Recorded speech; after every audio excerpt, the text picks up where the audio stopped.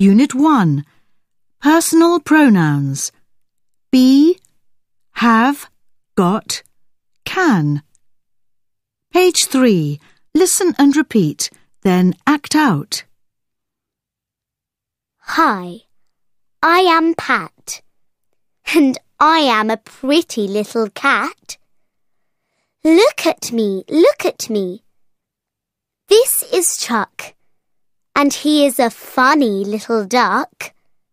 Look at him, look at him. They are Bob and Alice. And they are little mice.